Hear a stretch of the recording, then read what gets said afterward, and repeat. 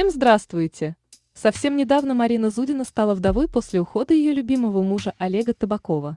Олег Табаков был руководителем Московского художественного театра имени Чехова, его не стало в возрасте 82 лет.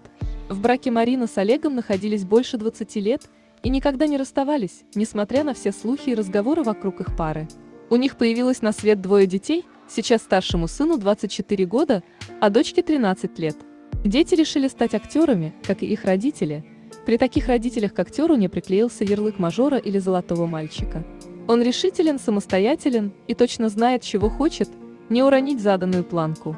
Павел уже достиг некоторых успехов в этой сфере, но и Маша в будущем хочет быть известной и популярной актрисой театра и кино. Марина долгое время не могла прийти в себя и со страшной потерей смогла справиться только благодаря своим детям. Всю свою жизнь в браке она посвятила любимому мужу.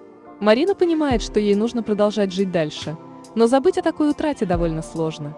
Поклонники сочувствуют еще довольно молодой женщине и верят в то, что она сможет найти свою любовь. Тем более некоторые поклонники начали подозревать, что у Марины появился мужчина.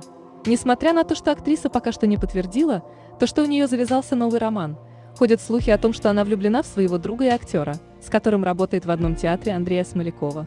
Но нет никаких доказательств их любовным отношениям.